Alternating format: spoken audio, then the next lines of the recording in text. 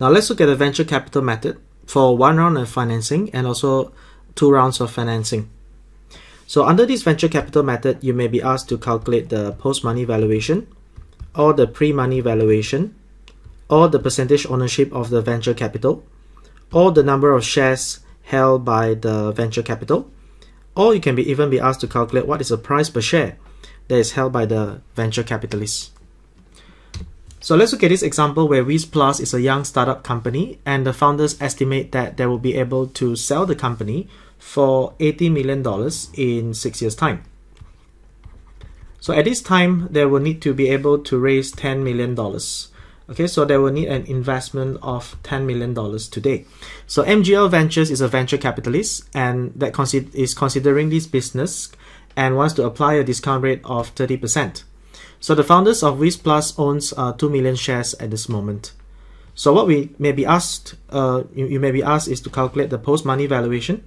So to calculate the post-money valuation, you will have to find the PV of this exit value of $80 million. So that will give you the post-money valuation. So the post-money valuation is the PV of this exit value and we'll discount this using 30% and for six years. Right, so let's count. So using this uh, 80 million is your FV, okay, uh, then it's for six years and and then 30% as IY and then zero is PMT. Then we compute PV, so that's about 16.5741.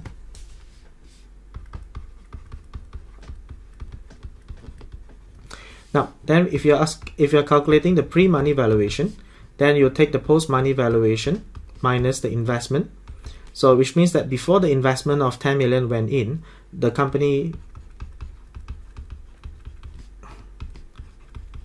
is only worth 6.5741 million.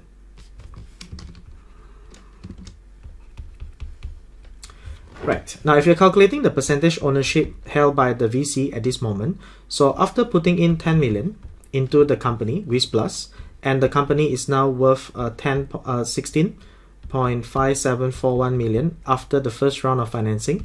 So in this case, v the VC will hold 10 divided by 16.5741, so that's about 60.34%.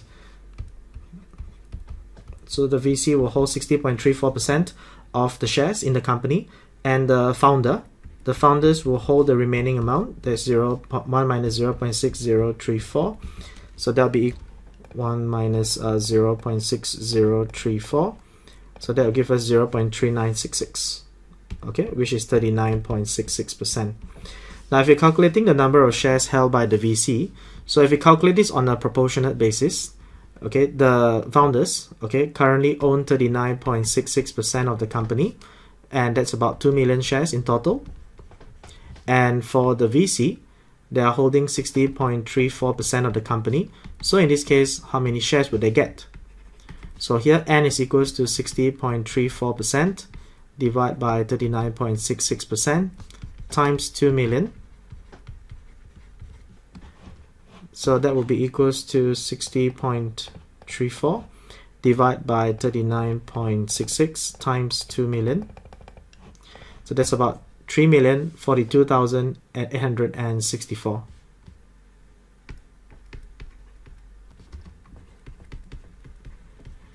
So what's the price paid per share? What's the, or what is the price per share for these shares owned by the VC?